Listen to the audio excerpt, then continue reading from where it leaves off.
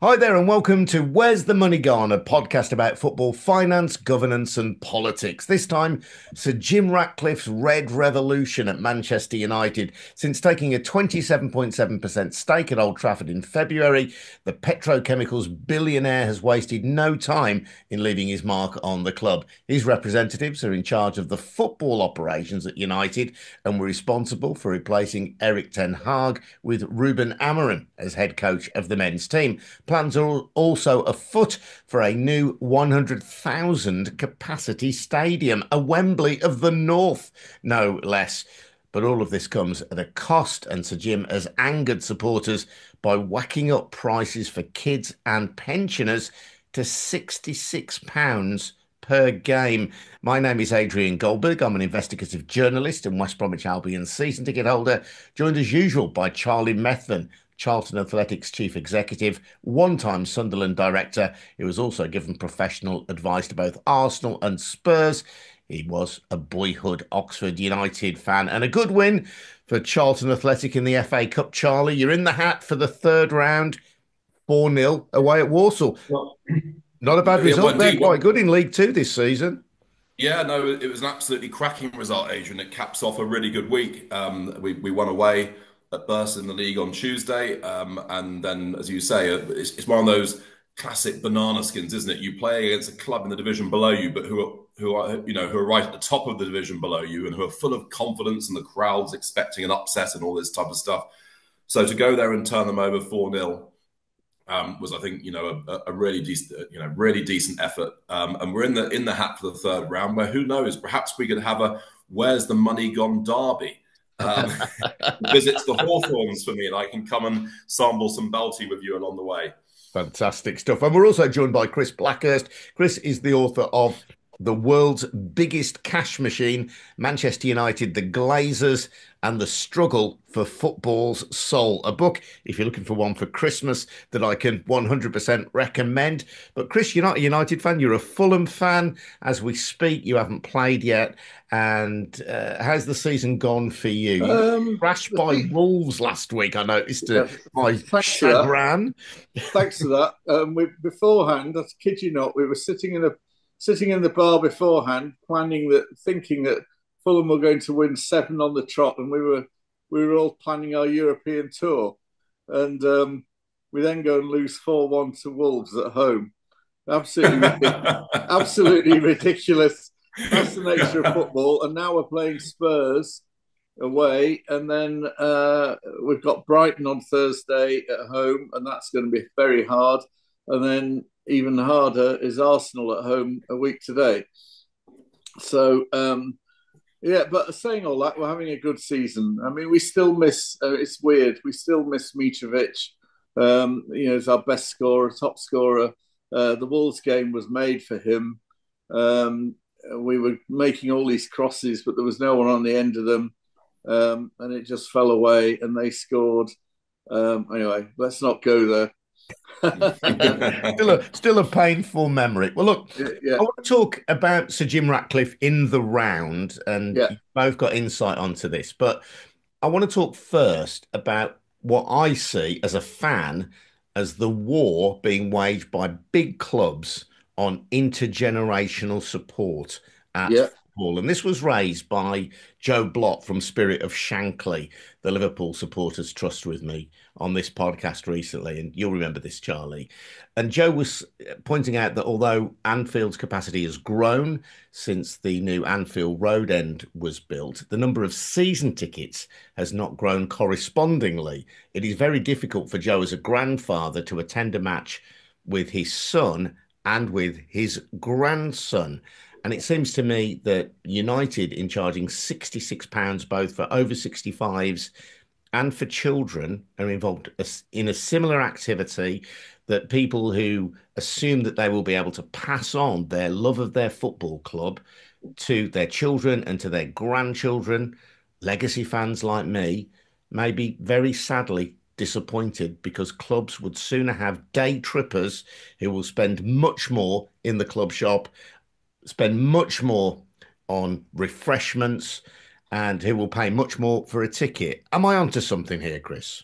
Uh, absolutely. Um, uh, in, in my book, I talk about how when the Glazers bought the club, um, because they own the Tampa Bay Buccaneers um, in the NFL, um, Joel Glazer, I think it was, um, uh, commented that at, at, Tampa Bay, the fan, uh, the average fan would be spending, from memory, I think it was it was forty five dollars um, at each game, and at United back then it was three pounds fifty, um, and he couldn't understand why, and it was explained to him that the model um, of how we watch our football, which is we go to the pub beforehand, um, we have some drinks, we go to the ground, we might have a drink at the ground.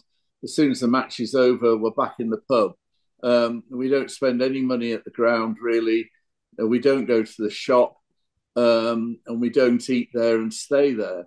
And um, yeah, this phrase you've used, which is the one they're all using, which is legacy fans. The legacy is uh, as we all know, is it, it's actually a dirty word in business. Um, it implies traditional old bricks and mortar. It's used really in relation to retailers who haven't got a future. And what they want are tourist fans, because tourist fans take their kids, they make a weekend of it. They might even stay at the hotel near the ground that the club might own. They go to the shop, they spend a load of money on shirts and everything else. Um, they will eat at the ground, and they'll they're not bothered about the prices. And um, you know that's the future. And uh, very quickly, I mean, at Fulham, as is well known, they've built this giant new stand, the Riverside stand by the Thames. Um, there are seats in there. Uh, you can get season tickets, but they're three thousand pounds, or you know, this is Fulham. Um, but under the match day tickets are very expensive. And underneath the, the stand, there are sushi bars. Um, you can get wine, you can get beer, uh, coffee. I mean, it, it's all completely different. I'm in the Johnny Haynes, which is a 1901 stand, wooden seats, wooden floors opposite. Um, and uh, after the match, they've got uh, rock bands on. Um, uh, they put rock bands on at the Riverside to try and make the fans stay and spend more money. And that's really what it's all about. We are the meat and the sandwich. Um, there is a big issue here, which is um, I'll stop in a second. Um, under the fair play rules, I mean, those big clubs have really got to to get the revenue up as high as they can if they're going to get the players that we we all want them to get. And so the fans, in a sense, have become the meat in that sandwich. Um, and there's no future really in for sadly for legacy fans. You can only put our tickets up by RPI, you know, RPI plus one percent or something every year. Well, well, that's no good. Um, they want people who are going to spend money, um, lots of money on tickets and all the memorabilia. So that's where we are. Go on, Charlie. Um, well, I, I, I, think that's a very accurate observation of the situation and, and, a very sort of panoramic one, which takes into account all the various different angles um, of of of the debate. Um, so uh, it's correct to say that for people running a football club, if you can attract tourism fans, day trippers, one-offs, global fans, whatever you want to call it, that those people are more lucrative on the day than the majority of your regular audience, right? There's no doubt about that. And even at Charlton, we saw that recently when we played against Wrexham and we went on a sort of big marketing campaign to drag in as many of these people as possible. And the average spend per head on the day, that day, was about £1.20 higher across the entire stadium than it would be on a normal match day. But the thing that we have to consider as people running a football club is yeah, but who comes the following Tuesday when you're playing Crawley Town at home, as we are this coming Tuesday? Who is there when a pandemic hits and you urgently need support? Yeah. Who is there in the future when actually a whole new generation is used to growing up on digital entertainment and getting people to come to a stadium full stop becomes a little bit tougher, etc. Fandom is an unbelievably precious thing because this is an audience that you don't have to constantly market to This is an audience that already follows the club, already knows everything that's going on at the club, that is basically the heart and the soul of the club. And I think any sports organization that doesn't understand how precious that audience is is very short termist um, yeah. and and isn't fully understanding of how f- proper franchises are built. By franchise, I don't mean like the US franchise system. I mean a a proper business. A proper business is built with several different layers of different types of customers, underpinned always by those who are the most fanatical about it. And those people have to be looked after very, very, very carefully. Yeah. Yeah. one thing that football clubs do not do, um, you know, we talk about spend per head on the day. To my mind, the reason why spend per head is often lower at English football clubs than it should be elsewhere, and far lower than it is at German football clubs, I should say, is because what's normally on offer is utter rubbish. the reason why a lot of fans go to the pub right? In some cases, it's because of a particular liking for a particular pub, but generally speaking, it's because they're, going to get better, cheaper beer in nicer yeah. surroundings. So in actual fact, what we need to be doing as English football clubs, if we're really interested in spend per head, is trying to capture as much as possible of our traditional fans' spend per head on the day. Because yeah. overall, our traditional fans are spending a lot on the day. They're going to the, they're often having something to eat, going to the pub beforehand, going back to the pub afterwards. Yeah. The reason they're not doing that at the stadium is because who wants to go and stand in a grotty co- concrete concourse drinking watered down lager out of plastic cups? Yeah. No, no, no one wants to do that. Sorry, Chris. No, I was going to make two observations. One is that the your point about the the season tickets sustaining is a very good one. I mean, here's the starter for ten. It's in my head. It's in the book. Um, but um, what's the lowest ever attendance at Old Trafford? Go on. Um, yeah, I can tell you, it's three and a half thousand. Wow. And how, how many times has Manchester United been relegated? Um, and the answer, if you include the old Newton Heath Railway, um, if you go back that far, the answer is five times. Um, so they might have a sense of entitlement now, and even the owners might have a sense of entitlement, but um, they need to remember their history. And the other observation I'd make, and this is uh, when I was told this, I didn't believe it, um, I checked it out, it was completely true. Um, that um, there was a discussion at Manchester United. Um, they make more. I mean, this is the big, very biggest clubs. It's not Charlton and it's not Fulham um, and it's not the Baggies, but those big clubs, they make their real money now on TV rights. And it was pointed out at United that if they what the te- what the broadcasters want to attract the audience, then therefore to attract the advertisers, is atmosphere and what they want is noise, and they want the singing. They love Liverpool because at Liverpool you get all the singing. Um, at United, sometimes it can feel like a morgue. And same at Arsenal. And um, so it was proposed that they let fans in for free in the Stretford end, provided they wore a lanyard. The free fans, no money on the season ticket. They had to wear a lanyard with a voice meter on, and they had to sing songs. Um, now, when I was told this, I said, but surely what would happen if they sang anti Glazer songs? And they said, yeah, good point. Um, but actually, if you think about it, and that was proposed and was discussed, you get in for free provided you sing. The, if you think about it, that did actually happen in the Qatar World Cup. I mean, they paid people to turn up at those grounds and to create atmosphere. And Arsenal now, um, I think I'm right in saying they've let they've created an area behind the goal opposite the North Bank, which is for a group of supporters who get cheap, subsidised seats, provided they drum and make noise. And that they are the, the Ashburton Grove. They call themselves something. Um, so all the gooners will be onto me, but they do, and they they keep up a relentless amount of noise, and that's the deal. They're allowed in, and they sit in about 10 rows behind the goal at the other end, and um, they're creating atmosphere. And, what these football all... clubs, what, what I was going to say, what these football clubs, though, are guilty of, I think, is what in political terms would be known as cakeism, isn't it? Because yes. they want the global fans. They want the day trippers, and all of us have been abroad to watch football and understand that's a perfectly valid and legitimate yeah. thing to want to do. Those fans come because of the atmosphere. So yeah. even despite the the the kind of the wariness around legacy fans. Clubs like Manchester United and Liverpool need them because they create the atmosphere that draws in the other exactly people. right.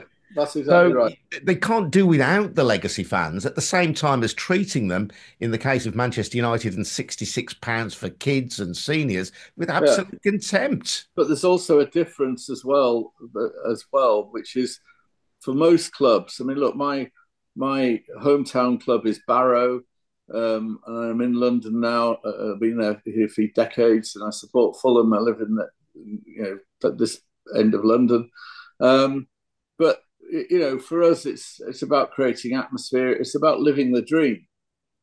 Um, you know, we we we go to matches in the hope. You know, we want to beat Arsenal next weekend. We want to beat Spurs away. Um, you know, good luck with that. But that's our dream, and we live the dream. Now, if you're an American owner, and the majority of clubs in the Premiership now are owned by Americans. Um, you don't have relegation. You don't have. You're not interested well, you are. You want to stay in the Premiership. And really, what they're doing, and this is where it's changing under Jim Ratcliffe, Ratcliffe's put them more on a financial footing, but there is an element here of chasing the money. Um, and what's being lost, and this is the sad bit, and which you're alluding to, is the sense of community. Um, you don't find reference to community when when the Glazers bought the club. Malcolm Glazer only ever said 29 words about owning Manchester United. He, the, he repeated the word franchise three times. He never said community. He never said fans. He never said supporters. He used the word how, how great it was to own, to own this franchise. Well, that tells you an awful lot.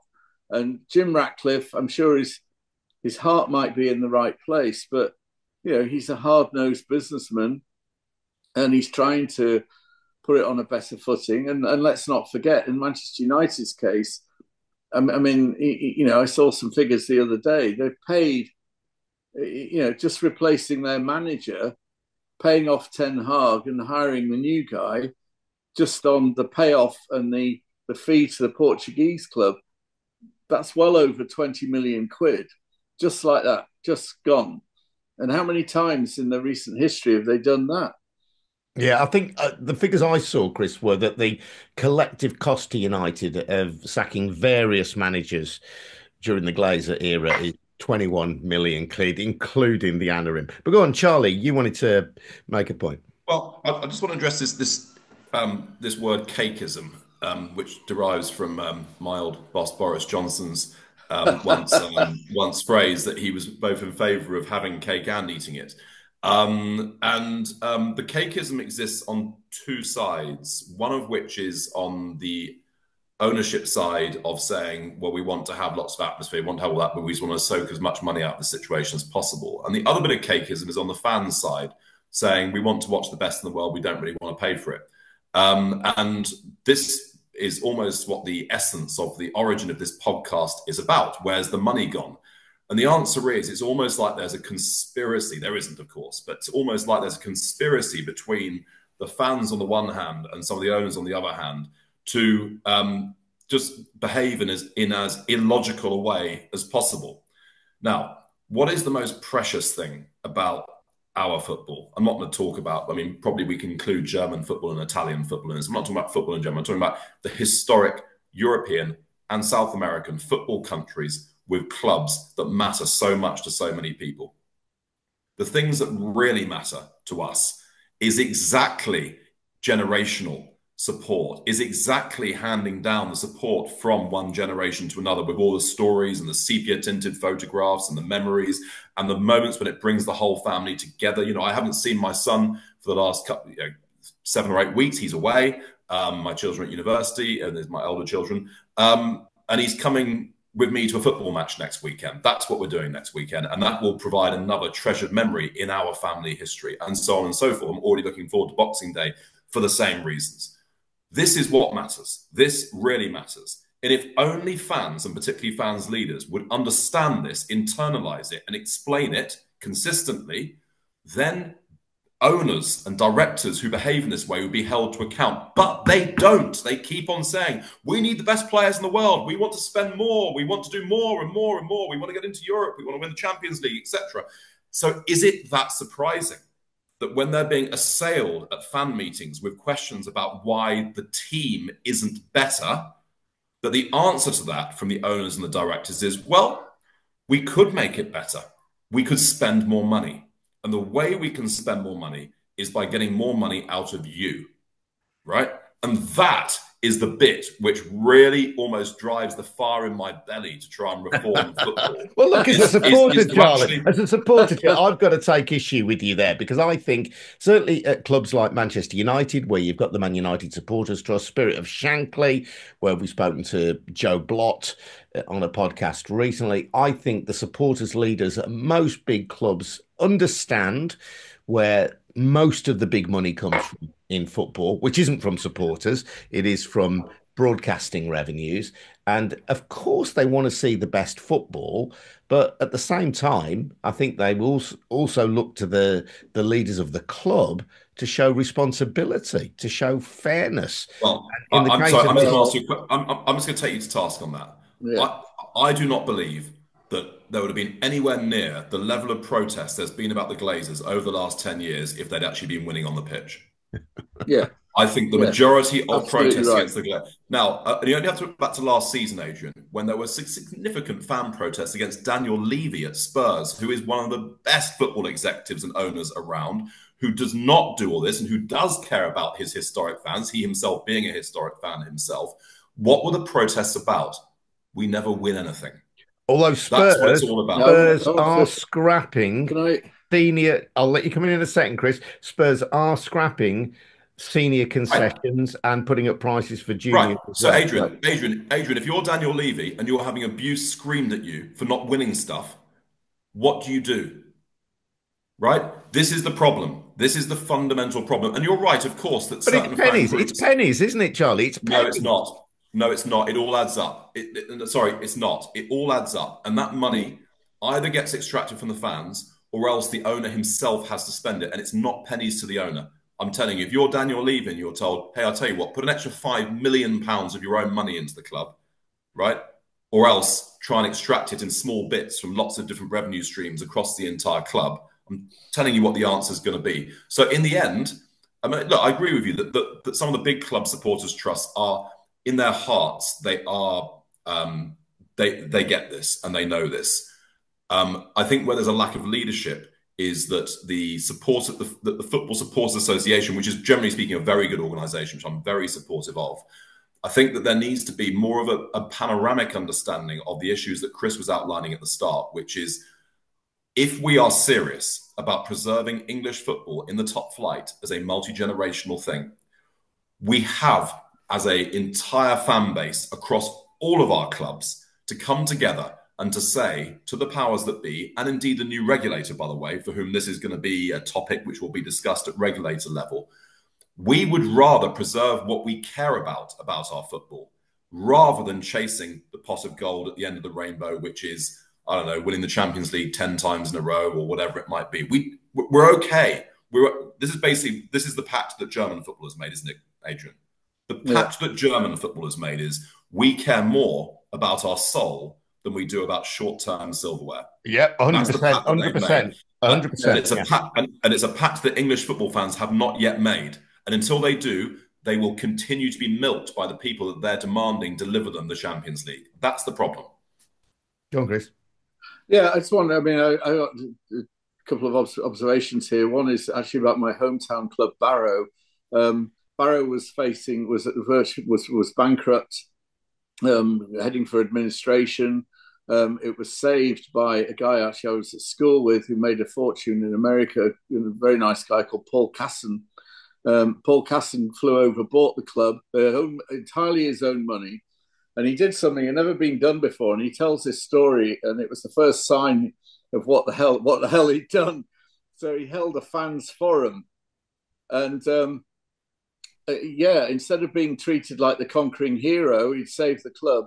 All the questions were, when are we getting so and so? When are we buying so and so? And he just got and saved the club from bankruptcy, and all they cared about was uh, which of the top players can we get. And the other observation I'd make is I think it's an appalling uh, development and it's a slippery slope. But for clubs might like um, well, like Charlton, Fulham, the Baggies, Barrow, etc., etc., um, allowing the replays to be uh, dropped in the Carabao. Um, it, the FA Cup. FA Cup, FA it's Cup. the FA Cup. Absolutely shocking, and um, you know that's the slippery slope. We dream, uh, not not you know not, but a club like Barrow, Barrow dreams of a, an you know they they love a, a, an away tie against a Premiership club and then bringing them back to Barrow. Um, and that's what they love. That's absolutely, that would be your phrase, Charlie. That would go down the generations as a memory. And they're taking away the memories. And um, yeah, we are on a slippery slope here, and the, the football fans are not making enough about this.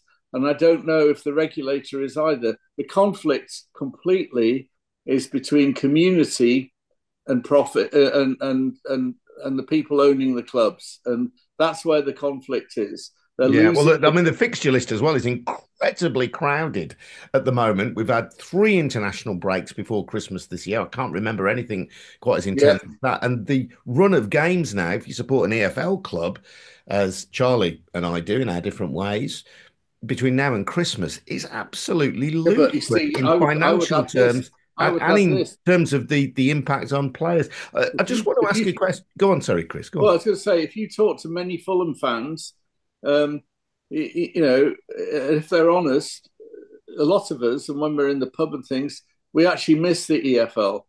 Um, our, our yeah, they all miss it. They all miss it till no, they're no, back no, there, it's quite Chris. Serious. It's quite serious. it's quite serious because the kickoff times move all the time. We hardly ever play on a Saturday anymore. They're at funny times, Sundays, Friday night. I mean, all, to accommodate TV. Um, the Premiership brings with it a whole load of pressures. Uh, I mean, you, I tell you one thing you can tell when they when they start the Premiership matches, the number of people who come on the pitch. It's like a procession. It's like the Lord Mayor's parade. Um, and the you know we actually miss the championship. We miss you know uh, a Wednesday night against Barnsley. We do. Um, and there were free scoring games and it was a lot of fun. And and I shouldn't say this, I'll be shot. Uh, tell you what, the fan, the away fans are nicer as well. Yeah, well, I'm sure. I'm sure there's less less club. entitlement. Chris, I just want to raise a really important point before we finish. I think this is really crucial though to this discussion and particularly around the pricing at Manchester United. Charlie, you and I have spoken about how the new UEFA rules on spending are going to be very much tied to revenue. Yeah. Now, we both, I think, disagree that owners should spend vast sums of their personal wealth to prop up football clubs. I don't think that's healthy for the sport. And I think it skews the game. But if we're not going to have owners, sugar daddies, piling money into football clubs, football clubs can only spend a percentage of what they earn. So going forward, if as you've suggested, if Man United, for example, want to have a chance of winning the Champions League, uh, obviously they can appoint better managers than they have in the past and recruit more successfully than they have done in the past. But ultimately, if you want a club to compete at that level, the only source of revenue is going to be television and supporters in the stadium. Pretty much merchandise, but that will also be generated by supporters in the and, and sponsorship. Yeah. So go on, Charlie. I wanted, I wanted to put that point to you. I mean, in, in a sense, now we as fans, we're, we're hemmed into this world where where owners can't subsidize the club. So we, one way or another, to through TV subscriptions and through merchandising and through ticket prices, we're going to have to pay for it. Yeah. So this is where I think the new system of shadow boards is going to be really valuable, right? I mean, our, our shadow board at Charlton will be up and running in the new year with elected fan um, representatives, um, you know, uh, constituting the majority of it. Um, and it's all, what we need to do is, is start a conversation about what the fans really want, what their priorities are, as, as it were. You know, at Charlton, we have uh, one of the top academies in the country. We've got, um, the only League One club, to have a top women's professional team. We have the biggest community trust in the country. Um, and all these things in their own ways cost the club money, right? But they are important for the soul of Charlton because it's what ties Charlton to southeast London like an umbilical cord. Charlton is nothing if not a total. We are the community club of the year as things currently stand. That's what we are. So the conversation comes, you know, with the shadow board is look, we are the custodians of this club. We are running this club really on your behalf. What are your priorities? What are the things that you would like to see happen with your club? What will make you most happy about the club. And then you can start having those discussions about multi generational uh, traditions being handed on. You can start having discussions about how to get supporters to spend more at the stadium on the day, not because they're being forced to, but because they want to. What are the things that we could do that would encourage that? you can start having conversations about local business and about how they can support their local club through sponsorship, not because they necessarily want more eyeballs on their product, but because they're buying into the social work you do locally and all this stuff. So these are the conversations that can be had and are had at German clubs, absolutely are had at German clubs. That I'm hoping that a mixture of the new cost control regulations, which effectively, as you say, bind the club totally to its revenue, combined with the new shadow board structures that we're starting to see, hopefully will enable us to move towards a more collaborative, more sensible, more logical approach to prioritization.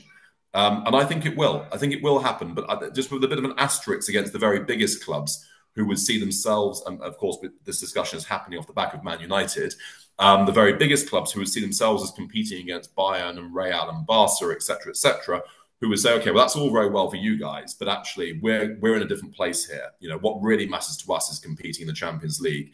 And we're not just thinking about the fans we've got in the stadium, we're thinking about the millions of other fans we have around the world who won't be such fans of ours if we're not in the Champions League. So that let's go back to where we started, which is we started off with Man United doing something which is quite clearly against multi-generational support of, of that kind of level of fandom. You can't debate it. When you start removing concessions you make it totally unaffordable for a family to go to a game. It's just impossible. I, I, I, couldn't afford it. I could paying 70 quid for each of my kids, plus on, on top me and my wife. I couldn't afford that. No chance on a regular basis. Once a season, maybe.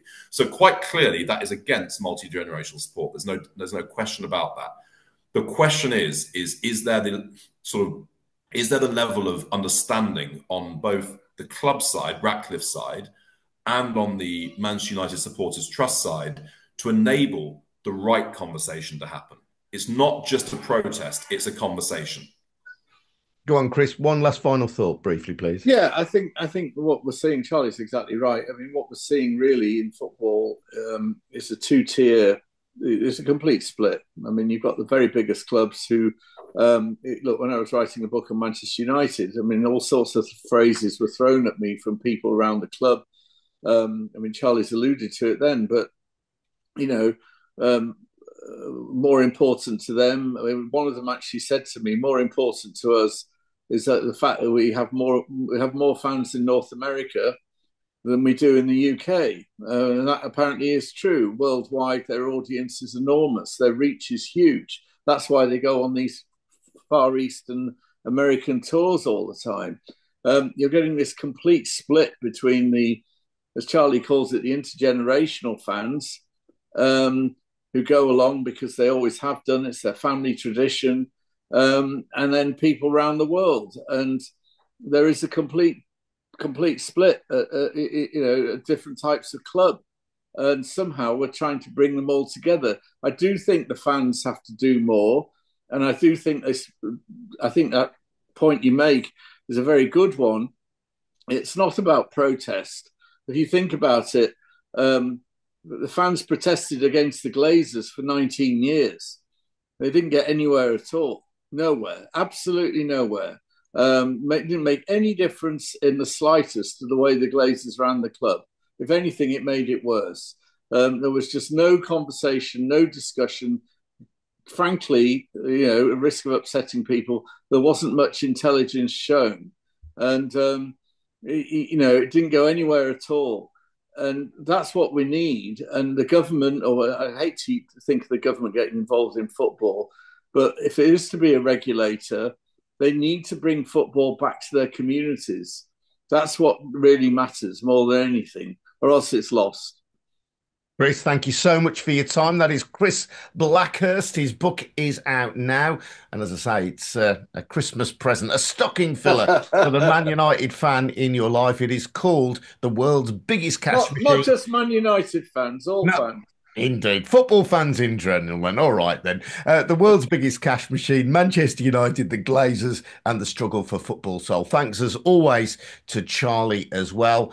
And many thanks to Jed Thomas for helping out to, with production on this episode, and to Mark Machado, who handles our socials at 1129. And there will be a chapter in my forthcoming book, Where's the Money Gone? about German football. If you want to follow me on Substack, you can see the occasional draft as this book goes through its very slow gestation. Head over to adriangoldberg.substack.com for the occasional draft chapter. Thank you both. We'll see you again next week. Thanks for listening. If you are watching this on YouTube, by the way, don't forget to smash that subscribe button. And if you're listening on Apple or Spotify or any other podcast streaming network, please subscribe as well. And if you've enjoyed this podcast, don't forget to spread the word. Thanks for listening. Cheers now. Bye bye.